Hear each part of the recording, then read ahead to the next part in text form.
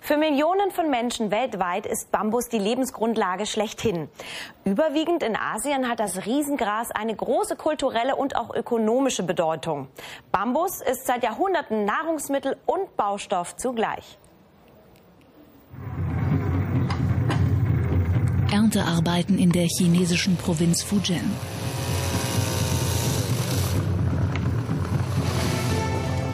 Diese Pflanzen haben eine weite Reise vor sich. In einer chinesischen Fabrik werden sie sich verwandeln. Sie ändern zunächst ihre Farbe und dann auch ihre Form. Der Klassiker für Terrassendielen ist heute Bankirai, ein Holz aus dem tropischen Regenwald.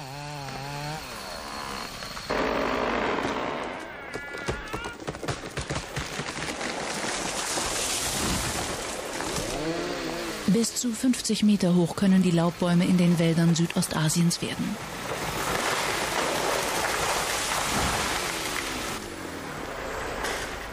»50 bis 100 Jahre wird es dauern, bis diese Urwaldriesen wieder nachgewachsen sind.«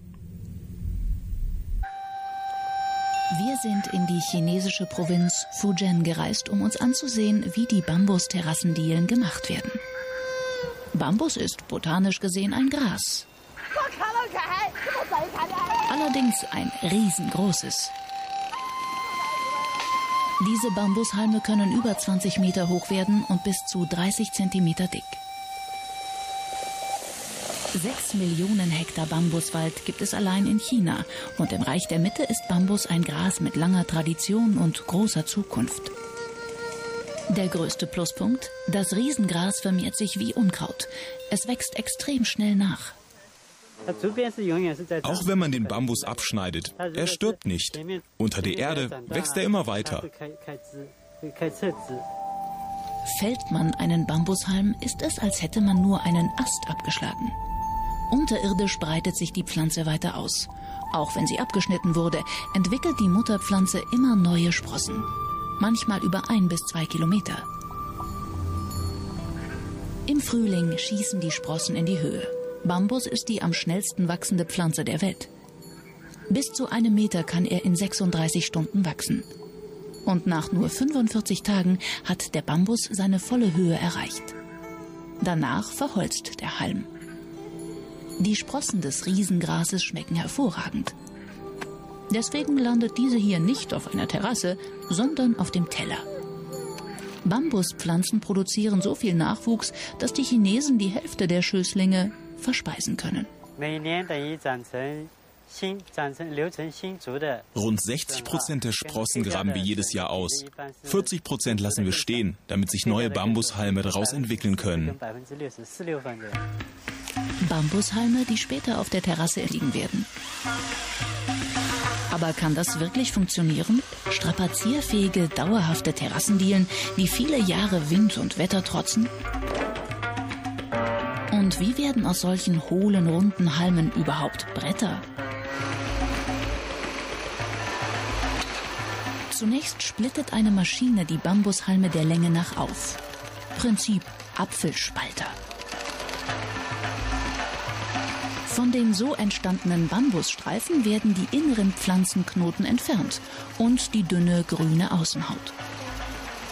Die hellen Streifen sind das Ausgangsmaterial, für Möbel zum Beispiel oder für Parkettböden. Aber wie kann man aus den weichen Bambusstreifen solche massiven Balken machen oder wetterbeständige Terrassendielen? Forstwirt Yang Mingje und seine Kollegen arbeiten seit Jahren an der Entwicklung des perfekten Terrassenholzes. Am Anfang verhielt sich der Bambus nicht wie gewünscht. Er dehnte und verformte sich. So sah das bei der ersten Generation aus.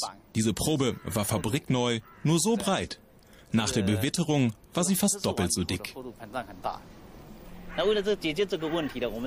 Wir haben sehr viele Tests durchgeführt und jetzt, meine ich, haben wir die Probleme endlich gelöst.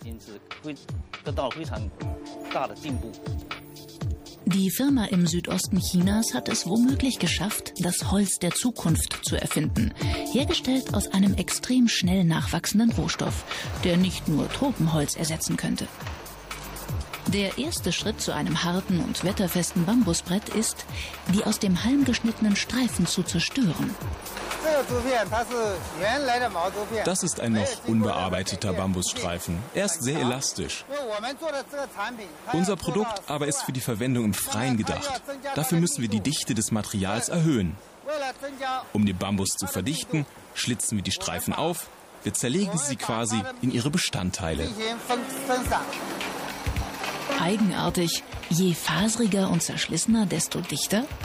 Wie kann sich dieses helle Material in einen rehbraunen Terrassenboden verwandeln? Noch sieht es eher aus wie Stroh. Wie in allen Bambusfabriken werden auch hier die Abfälle verbrannt. Das gibt Energie für die nächsten Produktionsschritte. In diesem Großkochtopf wird Schimmel, Pilzen und Bakterien der Garaus gemacht. Vier Stunden dauert das ungefähr. In Terrassenholz aus Bambus steckt immer noch viel Handarbeit. Weltweit beziehen 1,5 Milliarden Menschen ihr Einkommen direkt oder indirekt von dieser Pflanze. Nach sechs Stunden im Trockenofen die nächste Hitzebehandlung in einer stählernen Röhre. Bambus enthält viel Stärke bzw. Zucker und der reagiert in diesem Spezialkessel. Das Ziel ist, den Zucker im Bambus zu verbrennen. In diesem Kessel werden die Bambusstreifen durch Temperatur und Druck braun wie Milchkaffee. Hier ist keinerlei Chemie im Spiel. Der Dampfdruckkessel karamellisiert die Bambusfasern regelrecht, wie beim Pfannkuchenbacken oder bei Karamellbonbons. Und zwar nicht nur an der Oberfläche, sondern durch und durch.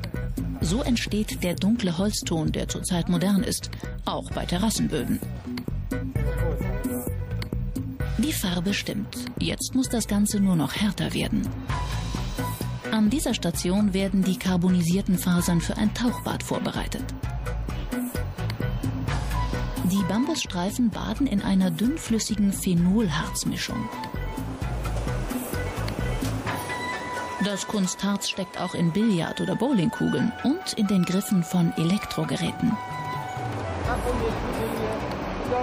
Für Parkettböden nehmen wir nicht so viel Harz. Terrassenholz braucht mehr Harz, weil das Material dadurch um einiges fester und widerstandsfähiger wird. Der Harzanteil im Bambus beträgt aber höchstens 20 Prozent. Nach der Fahrt durch den 50 Meter langen Trockenofen haben die Streifen das Harz vollständig aufgesogen. Das Prinzip erinnert an Spanplatten, aber die würde sich wohl niemand auf die Terrasse legen.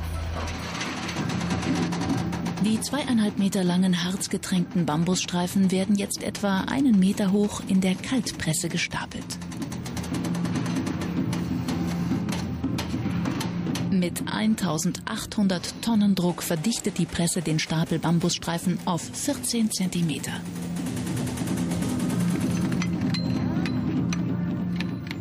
Die Balken sind 2,40 Meter lang. Seit neuestem kann die chinesische Firma auch Balken von 6 Meter Länge herstellen. Durch den enormen Druck entwickelt sich so viel Hitze, dass die Balken außen regelrecht verkohlt sind. Die schwarze Schicht wird später abgeschliffen. Entstanden ist ein Universalbaustoff, aus dem man Balken machen kann für Häuser, Bootsstege oder eben Bretter für Terrassen und Balkone. Diese Maschine fräst schmale Rillen in die Bambusbretter, damit man später bei Regen nicht so leicht darauf ausrutscht.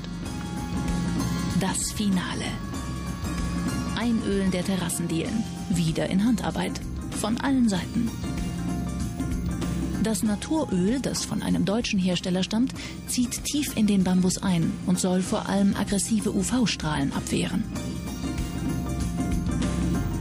Das biegsame grüne Riesengras hat sich in dichte, schwere Hartfaserbretter verwandelt, die jetzt die chinesische Provinz Fujian verlassen.